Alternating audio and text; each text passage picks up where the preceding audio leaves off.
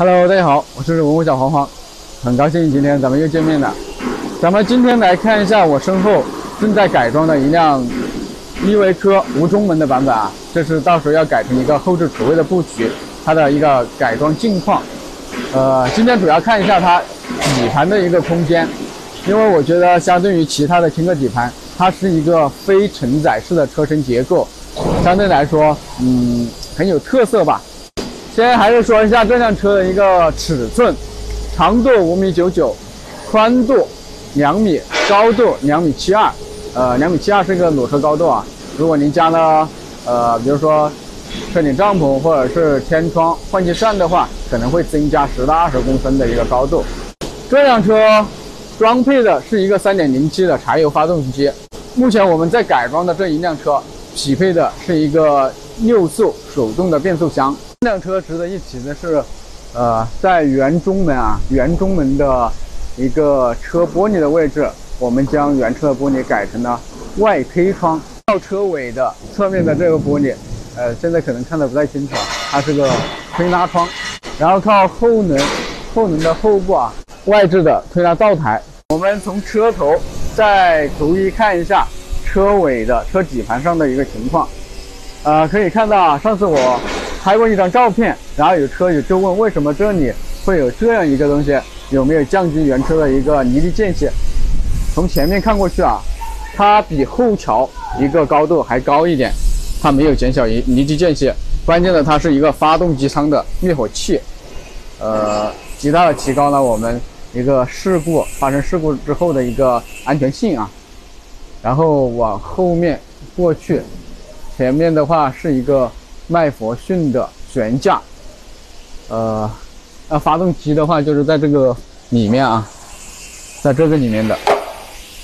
我们现在站到了主升机下面，再看一下后面的一个情况，可以看到黑色的，这个黑色的是它的大梁，这是一个非承载式的结构。整个白色的，呃，这上面的就是它的壳体。我们现在顺着这个大梁往前看啊。往前看，可以看到，在它的发动机舱的下面，都有这个大梁，一直延伸到了车辆的最前方，这样就极大的保证了这辆车的一个安全性。发动机往后的话，是我们的一个变速箱的模块，变速箱紧接着往后就是一个传动轴，传动轴，然后再直接将动力输出到后桥，呃，进行分配。后部的轮胎是个双胎的结构啊，这样承载性和耐磨性都更强。然后它的刹车方式是一个四轮的碟刹，前面也是，右边也是。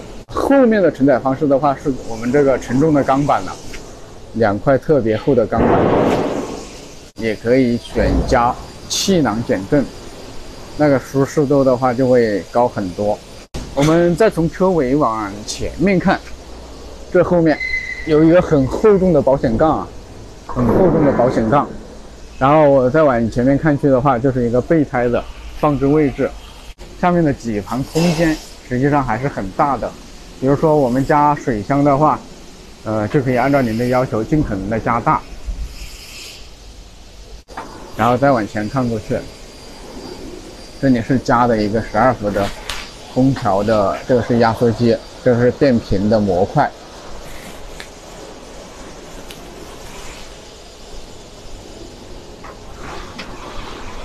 然后这边的话是我们的艾贝赫的燃油注水加热器，然后这个是个过水热的交换器交换结构，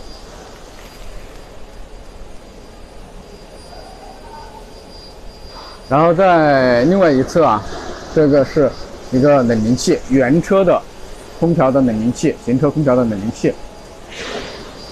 啊，说到这里，不知道大家有没有发现啊？那我们的油箱呢？油箱去哪儿了？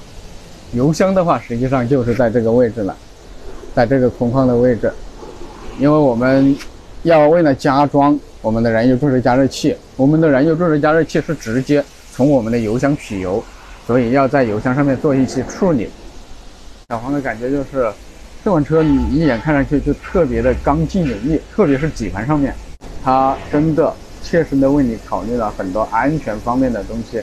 那么今天小黄对于这辆无中门的后厨位的依维柯房车底盘的一个介绍就到这里结束了。呃，车友们如果有什么疑问，可以在小黄视频下方留言或者私信小黄。咱们下期视频再见，拜拜。